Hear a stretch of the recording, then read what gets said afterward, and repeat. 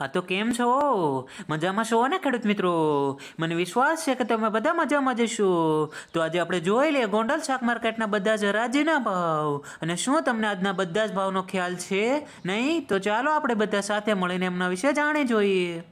આજે ગાજરનો ભાવ છે અગિયાર રૂપિયાથી પચીસ રૂપિયા. એમના પછી કોથમરીનો ભાવ છે માત્ર સાત રૂપિયાથી ચૌદ રૂપિયા. એમના સુરણનો આઈસ્ટા ભાવ છે એકત્રીસ રૂપિયાથી ઓગણચાલીસ રૂપિયા. તેમના પછી બટાટાનો પાછો માત્ર છ રૂપિયાથી બાર રૂપિયા. એમના પછી ફુલાવાનો પાછો દસ રૂપિયાથી અઠ્યાવીસ રૂપિયા. તમામ ભાવ કિલોના છે.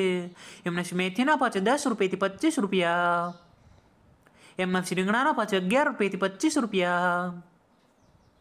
આજુ ગોંડલમાં ગુવાનો આઈસ્ટા ભાવ છે પિસ્તાલીસ રૂપિયાથી પંચાણું રૂપિયા.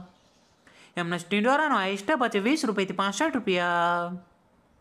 એમના ટમેટાનો પાછો માત્ર આઠ રૂપિયાથી ચૌદ રૂપિયા. એમના પછી લીલા આ સ્ટેપ છે વીસ રૂપિયાથી પંચાવન રૂપિયા.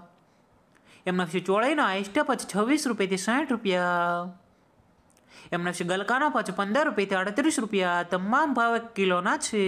એમના પછી ભીંડાનો આઈસ્ટા ભાવ છે બાવીસ રૂપિયાથી પાસઠ રૂપિયા. એમના છે કારેલાનો આઈસ્ટા ભાવ છે છવ્વીસ રૂપિયાથી પંચાવન રૂપિયા.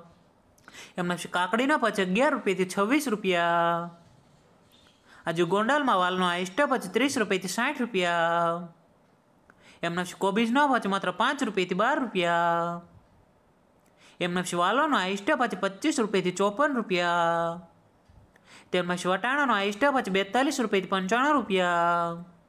એમના આદુનો આઈસ્ટા ભાવ સાઠ રૂપિયાથી પંચ્યાસી રૂપિયા. તમામ ભાવ એક કિલોના છે એમના પછી લીંબુનો આઈસ્ટા ભાવ પંચાવન રૂપિયાથી સો રૂપિયા.